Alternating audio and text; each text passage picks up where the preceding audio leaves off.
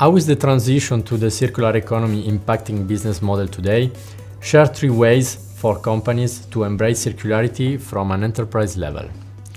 So before answering to the how, let's answering to the why. So why company needs to move to uh, circularity? First reason is to comply with regulations, mainly to reduce fines and disposal costs. Second reason is to reduce material cost, driven by material cost increase, good scarcity, and uh, to reduce product cost. Third reason is to improve uh, brand image, since final customers are more and more attentive to environmental matter, matter it's key to uh, increase revenue and market share to uh, move to circularity. Now let's move to the how. To embrace circularity, company needs to adopt an end-to-end -end approach. The scope of uh, product assessment shall not shall be extended from just manufacturing purpose to uh, a cradle-to-cradle -cradle point of view. Hence, it has become essential to design products to maximize the recyclability and material recovery rate at the end of product life cycle.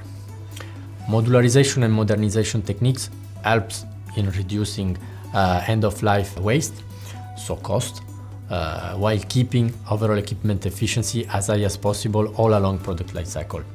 System of systems uh, helps in understanding the iteration within different uh, systems um, and uh, understanding also the trade-offs in terms of sustainability and operational matters. Drive, uh, everything is driven by regulators uh, that push OEMs to embrace circularity. Directives like Aero ROHS, WEEE waste from uh, electrical and electronical equipment, digital passport are pushing OEMs to reduce hazardous, material usage and to track them all along product life cycle. Regulatory compliance is key to avoid fine and maintain product compliance along the decades.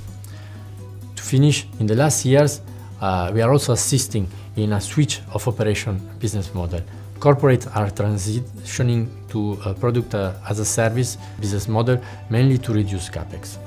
This change has major impact uh, on uh, the product development since uh, OEMs are the owner of the asset during the whole phase of ownership.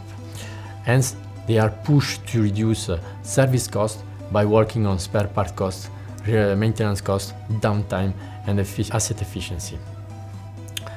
You can see that the trend up to now for OEMs was to sell the machine at a lower price as possible while selling the, the services during operation uh, at a high price. Now they have to do uh, in a completely different way.